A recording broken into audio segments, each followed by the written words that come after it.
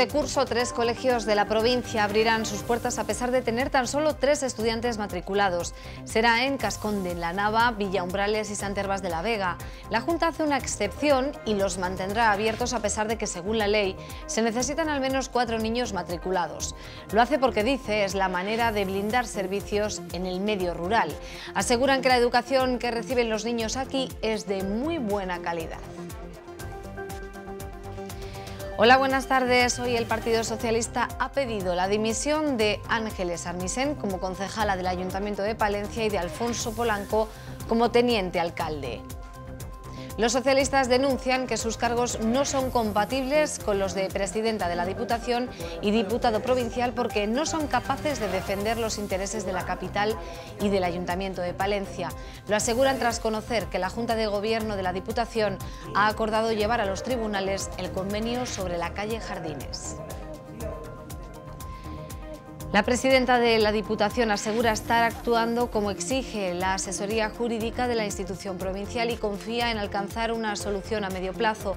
Pese al cruce de acusaciones y peticiones de dimisión, asegura que en el conflicto de la calle Jardines no hay intereses políticos. Ahora que el verano toca a su fin, la exposición de fotografía que se ha inaugurado en el Centro Cultural Provincial nos hace recordar, nos devuelve el sabor de la época estival al plasmar historias de playa. Un retrato de la vida cotidiana a manos de Juan Manuel Díaz Burgos, ganador del premio Piedad Isla 2018. Y en el capítulo deportivo, tarde-noche, la de mañana de baloncesto, porque a las 6 de la tarde Copa de Castilla y León de la Liga EVA, de la competición EVA y seguidamente primer ensayo ante su parroquia del Chocolate Estrapa. Precisamente hoy se ha presentado la Copa de Castilla y León que jugará el equipo morado este próximo sábado ante Valladolid.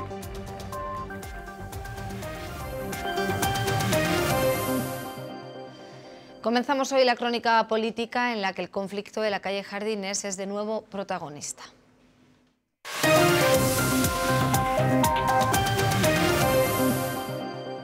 El Grupo Municipal Socialista ha pedido la dimisión de Ángeles Armisen como concejala del Ayuntamiento de Palencia y de Alfonso Polanco como teniente alcalde.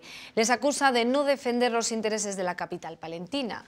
Lo hacen tras conocer que ayer la Junta de Gobierno Provincial de la Diputación aprobó presentar un recurso contencioso administrativo contra el Ayuntamiento de Palencia para que ejecute el convenio de la calle Jardines. La Junta de Gobierno Provincial aprobó ayer interponer un recurso ante el contencioso administrativo contra el Ayuntamiento de Palencia. La institución provincial pide que se ejecute el convenio de la calle Jardines, lo que se traduce en que el consistorio debe pagar a la Diputación 24 millones de euros. La institución lo hace, según el PSOE, sin respetar los plazos de ampliación de tres meses acordados en el último pleno municipal un periodo que serviría para conocer el informe del Consejo Consultivo sobre este asunto y así evitar la vía judicial. El PSOE acusa a Armisen y Polanco de no defender los intereses de la ciudad. El Grupo Socialista considera que hay una manifiesta incompatibilidad de la señora Armisen como presidenta de la Diputación y concejala del Ayuntamiento de Palencia, por lo que pedimos su dimisión. Su dimisión. El señor Alfonso Polanco estaba ayer en la Junta de Gobierno de Diputación se vio este tema y ni abrió la boca. Vergonzosamente, ni abrió la boca. Por lo tanto, pedimos la dimisión de estas dos personas. Ante esta situación, piden al alcalde de Palencia, Mario Simón, que interponga un recurso potestativo de reposición que anule el de Diputación en el contencioso. De no hacerlo, los socialistas van a presentar una moción en el Pleno. Pedimos que el Ayuntamiento, a través de un decreto de urgencia del alcalde, actúe y si no ha actuado el viernes, este grupo registrará una moción para el próximo pleno, que se celebrará la semana que viene, en el que llevaremos la interposición de ese recurso potestativo de reposición. Desde el PSOE confían en contar con el voto favorable de Vox si presentan la moción y de Ciudadanos. Precisamente este último grupo se abstuvo en la Junta de Gobierno Provincial de Diputación a presentar el recurso contencioso administrativo. Aunque Miriam Andrés tiene sus dudas, puesto que considera que quien realmente gobierna la ciudad es el Partido Popular y Alfonso Polanco. Todo esto ocurría hoy. Ayer, la presidenta de la Diputación, frente a nuestras cámaras, en una entrevista que podrán ver esta noche, aseguraba que no hay conflicto político, unas declaraciones que chocan con la petición de dimisión del PSOE. Desde Diputación esperan que el informe solicitado al Consejo Consultivo arroje luz sobre este espinoso asunto.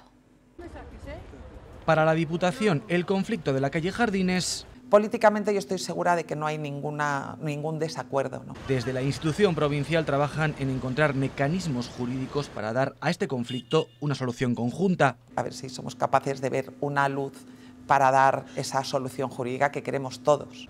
Una solución complicada que podría tener el Consejo Consultivo, al que ya se ha solicitado orientación y un informe. Lo que vamos a hacer es, eh, se remitirá por parte del Ayuntamiento el expediente al Consejo eh, Consultivo y el Consejo Consultivo pues en su plazo emitirá el informe, que eso es lo que queremos también las dos administraciones.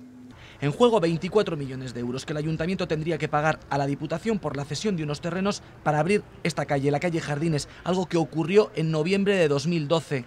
Resolver eh, una expropiación y lo que tenemos que ver es que, que al final qué es lo que se expropia y realmente cuánto cuesta y qué estamos dispuestos a pagar, pero todo eso después de que hubo dos procedimientos judiciales y un convenio que se hizo anteriormente entre las partes. Un asunto en el que entran en juego los intereses de dos instituciones, el ayuntamiento, el que debe, y la Diputación, a quien se le debe. Lo que no puedo hacer es defender los intereses jurídicos de las dos instituciones, pero para eso están nuestros secretarios eh, generales. Ellos y la justicia tendrán la última palabra. Y el conflicto originado tras el cierre de las guardias médicas nocturnas del punto de atención continuada de Barruelo ha vuelto a debatirse en las Cortes de Castilla y León. El procurador socialista por Palencia Jesús Guerrero ha preguntado en el Pleno por este asunto, en concreto por la fecha de restablecimiento del servicio después de más de un año de promesas incumplidas. Este cierre afecta a más de 1.800 habitantes de casi una veintena de poblaciones de la montaña palentina. Cambiamos de asunto. Hoy hemos conocido el balance de las actuaciones desarrolladas por la Guardia Civil durante las fiestas. En San Antolín detuvieron a dos hombres vecinos de Benavente por un supuesto delito de tráfico de drogas. Se les incautaron 100 pastillas de metanfetaminas y más de 3 gramos de speed. Por cierto, que también hoy desde el Grupo Municipal Socialista han hecho balance de las fiestas. Consideran que los sanantolines son mejorables. Echan en falta la participación social y también más eventos durante el día. Ha faltado una programación de calle para sacar a los palentinos a lo largo del día a la calle y que además eso genere una inercia de más gasto, de más consumo. La Plaza Mayor, la Plaza Mayor de una capital como Palencia no puede estar como ha estado estas fiestas. Creemos que es un punto neurálgico, que la Plaza Mayor, la Plaza de los Juzgados, ha estado completamente abandonada. Ese anuncio de la concejala de ahora me voy a reunir con 20 colectivos, no, os teníais que haber reunido con 20 o con más colectivos. ¿no? Que llega tiempo para las próximas fiestas, pero estamos valorando estas y estas han sido unas fiestas que han dejado mucho que desear.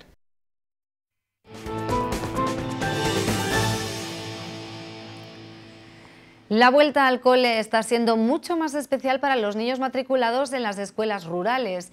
Este curso son tres los colegios que abren sus puertas con tan solo tres alumnos. No es algo nuevo en Cascón de la Nava, donde están acostumbrados, pero sí es una novedad para Santervás de la Vega y Villa Umbrales. Es la primera vez que con ellos la Junta hace una excepción y permite que sigan abiertos a pesar de tener menos de cuatro estudiantes. Ellos son los tres únicos alumnos del colegio de Cascón de la Nava y gracias a que ellos han decidido estudiar aquí en su pueblo, el centro puede continuar abierto. La Junta de Castilla y León insiste en que tienen los mismos servicios que en los colegios de la capital y en su misma situación con tres alumnos están los colegios de Villa Umbrales y de Santervas de la Vega. Se llaman Ariel, Lina y Sundus. Son los tres alumnos del Colegio de Cascón de la Nava y aunque para muchos esta imagen pueda ser sorprendente, ellos están más que acostumbrados. Lleva siendo su colegio desde los tres años. Me están enseñando las letras en palabras y más cosas.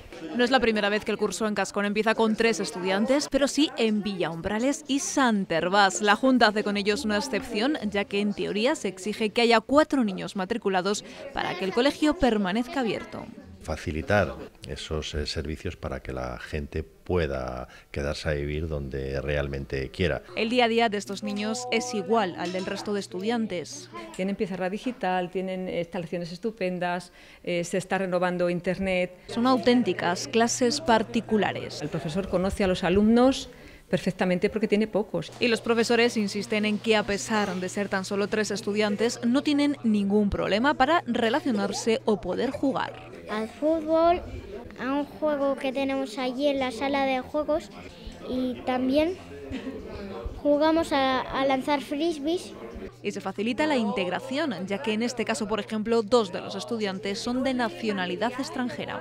Eh, por ejemplo, Lina entró sin hablar como ha entrado esta niña y ahora se comunica perfectamente. Ahora confían en que de cara a los próximos años sean cada vez más los padres que opten por matricular a sus hijos en la escuela de su pueblo a la vista, de que reciben una educación de calidad y además personalizada.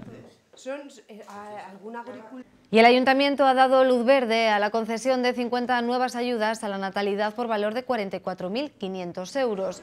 Se suman a las ya concedidas presupuestadas en 200.000 euros.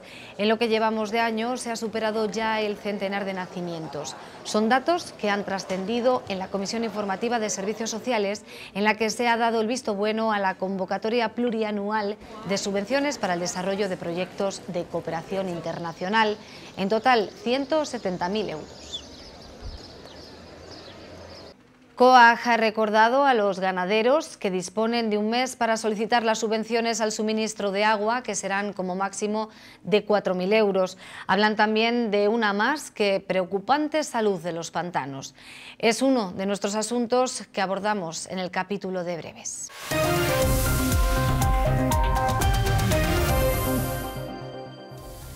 COAG recuerda a los ganaderos que disponen de un mes para solicitar las ayudas al suministro de agua de las explotaciones afectadas por la sequía. Estas subvenciones serán como máximo de 4.000 euros para cada ganadero que cuente con más de 10 unidades de ganado.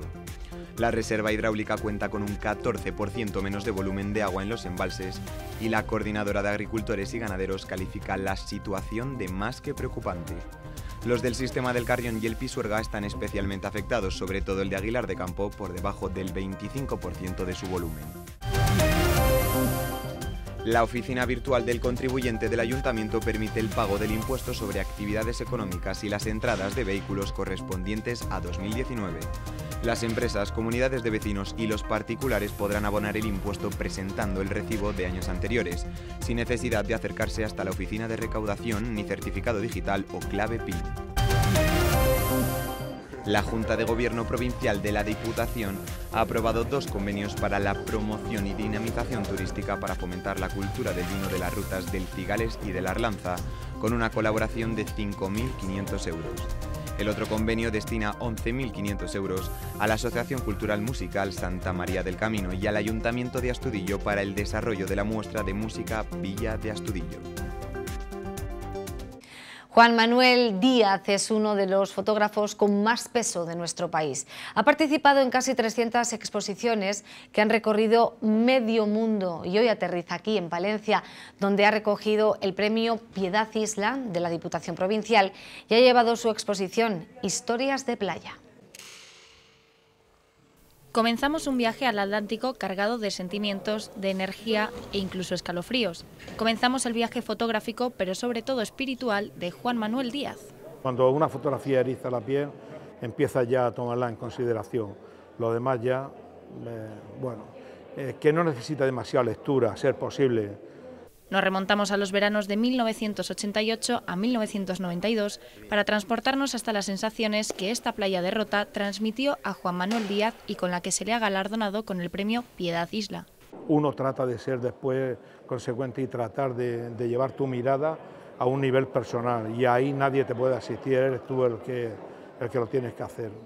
Se trata de una visión crítica de un espacio popular en el que se respira vida, sus fotografías han recorrido medio mundo haciendo especial hincapié en Latinoamérica, una tierra que le tiene enamorado. Mi mujer sabe que cuando yo me pierda, sabe dónde buscarme, sabe América. El murciano es autodidacta, sin embargo, no dudó en ponerse al frente de la Universidad Popular para enseñar todo lo que sabía. Tú tenías que aprender la fotografía a base de libros y revistas que te iban llegando y que te iban nutriendo del conocimiento. Una exposición que sin necesidad de color dará un brillo especial a los ojos de quienes la visiten.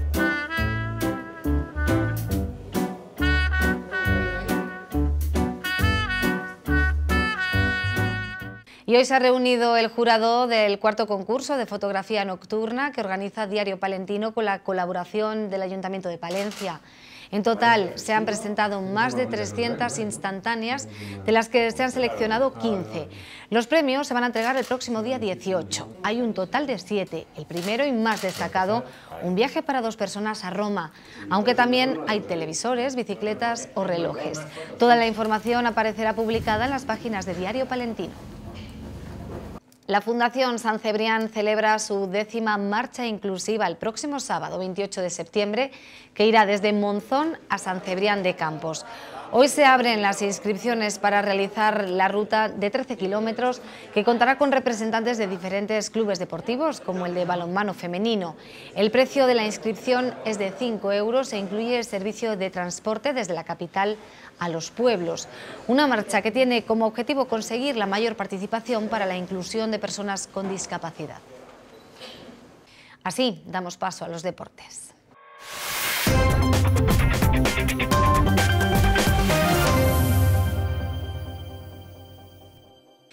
Alberto, buenas tardes. Buenas tardes. Bueno, ¿con qué comenzamos hoy este repaso a la actualidad deportiva? Con baloncesto, por ejemplo. Baloncesto porque mañana la tarde y la noche estará ocupada en el pabellón por este deporte. Abre la tarde el conjunto de filipenses en la Copa de Castilla y León y la cierra el Chocolate Estrapa con un partido amistoso, el primero ante su afición. Vuelve el baloncesto al pabellón a nivel competitivo porque realmente esta instalación está centrada casi exclusivamente a este deporte. Mañana el Chocolate Estrapa Palencia jugará su primer encuentro de la pretemporada ante su afición. Será a las ocho y media recibiendo al Ourense de la misma categoría. El balance hasta la fecha es de dos triunfos frente a Estudiantes y Autocit de Burgos y una derrota frente al Valladolid. La entrada para presenciar este encuentro es totalmente gratuita, pero los abonados del Club Morado no tienen reservado el asiento. Y es que antes, desde las 6 de la tarde, juega en ese mismo escenario Filipenses, el partido de la Copa Castilla y León, frente al filial de Burgos de ACB, el Miraflores. Precisamente hablando de la Copa de Castilla y León, en este caso de la Liga EVA, hoy ha sido presentada la Copa de Castilla y León pero para los conjuntos de LEF Oro y de ACB, que se va a desarrollar en Valencia este próximo sábado y el miércoles de la próxima semana. El sábado con un interesante duelo entre Valladolid y Chocolate Estrapa, la revancha después de la derrota morada en Cigales. El ganador de este choque se enfrentará al San Pablo de Burgos el próximo miércoles, partido que ofrecerá en directo esta casa. Cinco euros cuesta la localidad por cada uno de los dos partidos. Si se quiere sacar el abono, 8 euros. Los niños hasta 14 años tienen entrada gratuita. Otra copa que se bebe en Valencia. Creo sinceramente que ese día merece la pena porque se van a ver grandes jugadores, por ejemplo, Mafaden, que en el año pasado estaba en, en Juventud, o bueno, Víctor Benítez, que ayer con Brasil, que fueron ayer apeados del Mundial, pues metió 21 puntos. Son jugadores con, mucha clase ¿no? y que mereces un baloncesto de, de alta calidad. El pasado sábado se disputó sin duda alguna el mejor trialón de la comunidad de Castilla y León. Fue el de Fromista, con una participación de lujo. La pena es que el gran esfuerzo de la organización quede desgraciadamente a un lado por un incidente ajeno a ellos, el atropello de una trialeta a cargo de una furgoneta dejada de la mano de Dios. Hay cosas que por muy bien que se hagan, acaban de la forma más desagradable e inesperada. Eso ocurrió en Fromista en su excelente triatlón. El club local lo organizó con mimos sin dejar el más mínimo detalle, pero hay cosas que no se pueden controlar. Un vehículo ajeno a la carrera transitó por la carretera cortada y atropelló a una triatleta valenciana que sufrió rotura de clavícula siendo trasladada a la clínica Recoletas. Esa misma noche durmió en Fromista y al día siguiente viajó a tierras levantinas. La organización en un bellísimo detalle ha invitado a esta triatleta y a su pareja a la próxima edición. Una pena que una prueba de tanto nivel se recuerde por este incidente ajeno a la organización. Deportivamente, Miguel Ángel Fidalgo fue el ganador de la prueba masculina, superando a Ruzafa y Osoro. En féminas, Gurutse Frades dio una exhibición en los segmentos de ciclismo y a pie para llevarse el triunfo con una cómoda ventaja sobre Laura Gómez y Esther Rodríguez. Uno ya vivió una experiencia muy parecida en la Vuelta Ciclista a Palencia. Un coche que se olvidó de las reseñas e indicaciones de la Guardia Civil en dirección contraria, choque y asómbrese, perdió el juicio en los tribunales. El otro desde niño. Vamos, mientras tanto, para acabar con montañismo, precisamente. Eso ocurrió en Camasobres. Nos vamos a la montaña palentina para hablar de la ultra que organiza el Puentecillas, que va a tener lugar este próximo sábado, que ha sido presentada en la Diputación Provincial, que colabora con el evento con 20.000 euros, tres en uno, porque se celebran hasta tres pruebas. Una de 18 kilómetros otra de 44 kilómetros llamada la Maratón, que además forma parte del calendario nacional, y la última, la Estrella, eh, que será además campeonato de Castilla y León sobre 80 kilómetros y parten, lógicamente, de noche para intentar llegar de día. Y nada más, con todo esto... Hasta mañana, hasta mañana, hasta mañana Alberto. Momento ya de conocer el pronóstico del tiempo. Parece ser que la jornada de mañana también va a ser un poco inestable. Lo comprobamos.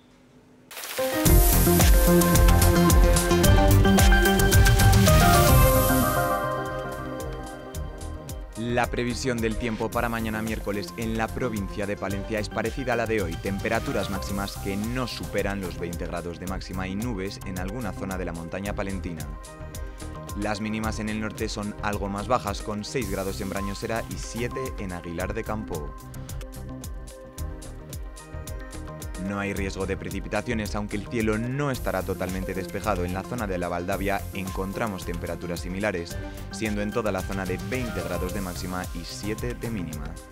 En Saldaña, cielo despejado, aunque veremos algunas nubes a lo largo de la jornada, el sol sí que va a lucir en localidades como Carrión de los Condes, Villoldo o San Cebrián de Campos.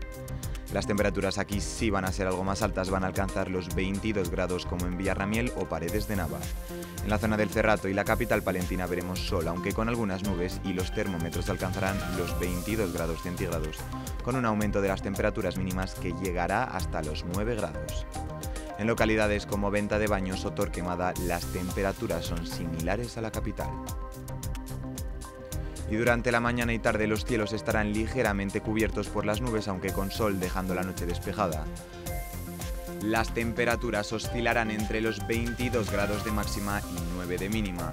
Algo más cálidas serán las de los próximos días, veremos una subida de las máximas desde pasado mañana jueves que alcanzarán los 28 grados y una ligera subida de las mínimas también con sol y algo de nubes. Diputación pone en marcha el proyecto Más Canal en Villaumbrales y Becerril de Campos. Hasta el 3 de noviembre se podrá disfrutar de embarcaciones, talleres y diferentes actividades para toda la familia. Ruesga se convierte en parada obligatoria para los amantes del ecoturismo.